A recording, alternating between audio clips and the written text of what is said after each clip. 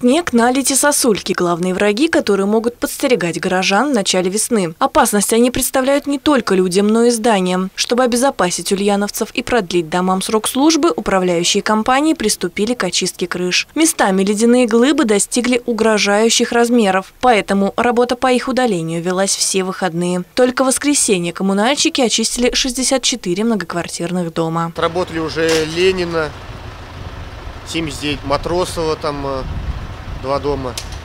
И там другая бригада вышка работает. Э, были на Нариманова 39, 100, 102, Орджоникидзе 1.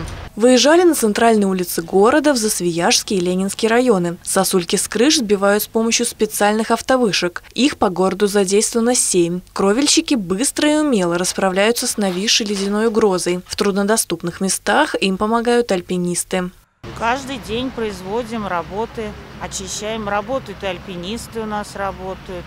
И на крыше плоские чистим, наши кровельщики работают. Каждый день проходим все участки. Где нет возможности, ограждаем сигнальными лентами, ограждаем этими оградительными. Заявки на очистку кровли жители Ульяновска могут оставить по телефонам единой диспетчерской службы контакт-центра при главе города 05 и 73 79 11 в своей управляющей компании ТСЖ или ЖСК. Дарья Судрева, Новости Ульяновской правды.